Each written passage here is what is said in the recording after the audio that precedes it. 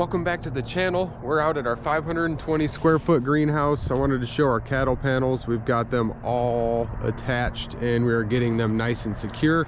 I'll bring an update once we get that secure and the second layer of poly completely on. We had an absolutely frozen day yesterday and the night before was seven degrees with a negative three degree wind chill. We are not holding a lot of heat in this greenhouse because we're transferring it right through one layer of poly most of the heat is held in the floor. sitting about 50 degrees in here, which is great for being 22 degrees right now outside.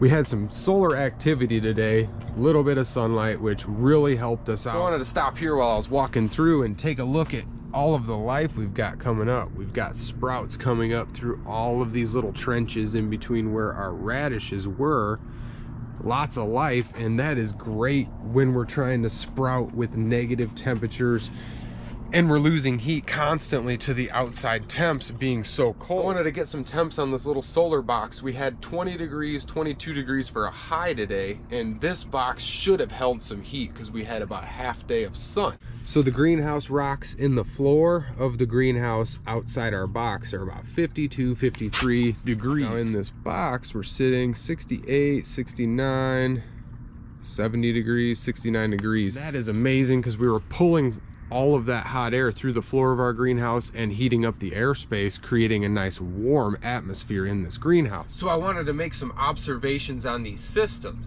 This solar air heater is great and it does not negatively impact us when it's very cold out.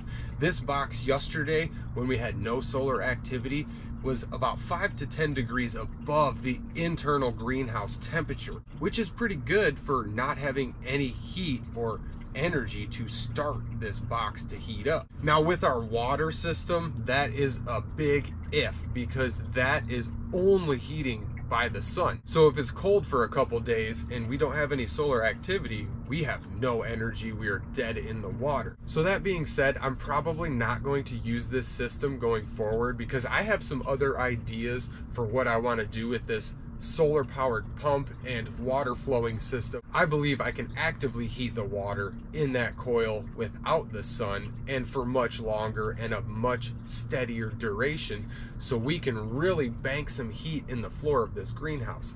Like our solar air heater, all of the rocks and bricks in here are acting like a three to six hour battery, storing all of that energy as heat and thus releasing it slowly over three to six hours ish at nighttime, creating more warmth than we would naturally. Now when it's sunny out, the solar powered water heater is absolutely amazing. It works great. It heats our water up 10 to 20 degrees more than the inside temperatures of our greenhouse, which could be 50 degrees above the outside temperatures outside our greenhouse. But on the other hand, that cold water sitting in our hose is negatively impacting our roots and root development and our soil temperature when we don't have any solar activity. So the water heating system is about a 50-50 in my book because it works great when the sun's out and it negatively draws when the sun is not out. So you're either gaining or you're losing and I do not want to be losing anything so that is why I will be changing this system. So everybody stay tuned to see what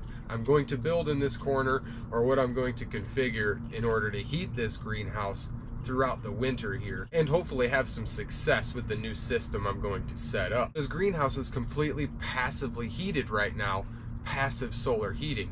So what I want to do is actively heat without spending any money on gas or fuel to heat the greenhouse. So stay tuned for an update on this greenhouse and how I'm planning on heating it.